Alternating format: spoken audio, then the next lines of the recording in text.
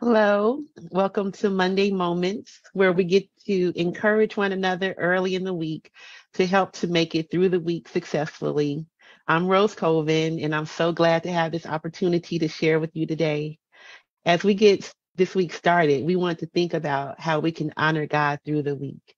There are so many ways, but one of the things that we can do is to bring glory to God, is to consider our conduct it seems that so many of us are easily swept into the ways of the world. We get caught up and become followers instead of leaders. We get lost in darkness when we should be the light. So as we go into this week, we should ask ourselves, how do we want to try to conduct ourselves? And let me say, we are just focusing on this week, one day at a time. This is not meant to be an overwhelming discussion, but just a moment to refocus ourselves and let us look to the scripture for direction on how um, how we should conduct ourselves. In First Peter chapter one, verses 13 through 16, which uh, First Peter, which was a letter to Jewish and Gentile believers of Christ, it says in the contemporary English version, verse 13, "Be alert and think straight. Put all your hope in how God will treat you with undeserved grace when Jesus Christ appears." Behave like obedient children. Don't let your lives be controlled by your desires as they used to be.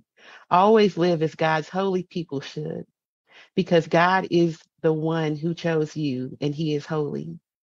And that's why the scripture says, I am holy. I am the holy God, and you must be holy too.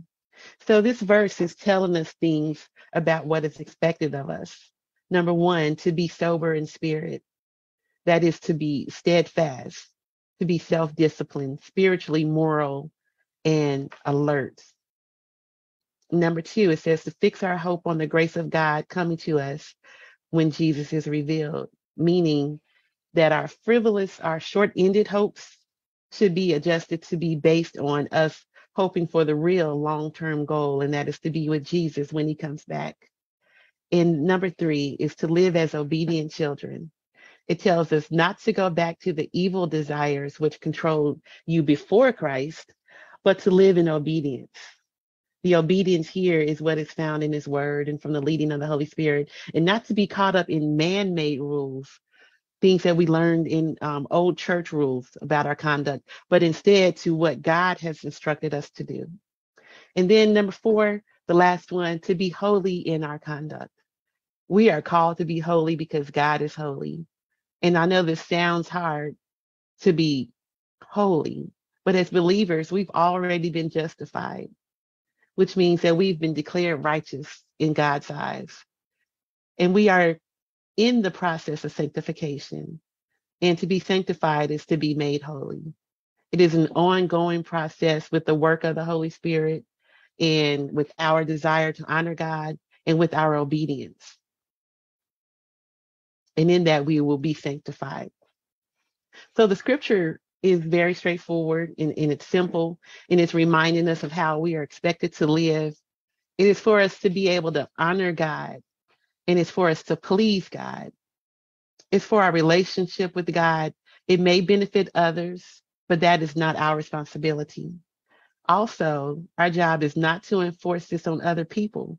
We cannot and should not try to control other people and their behavior.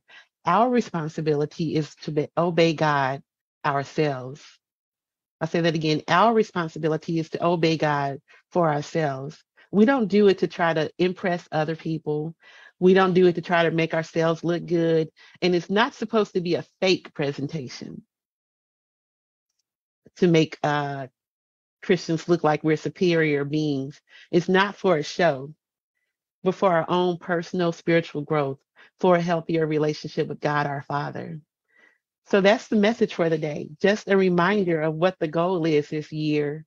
The goal is for this month, the goal for this week, for this day, for this very moment. And that is to be the best Christian that we can be. And we do that by remembering how we should conduct ourselves.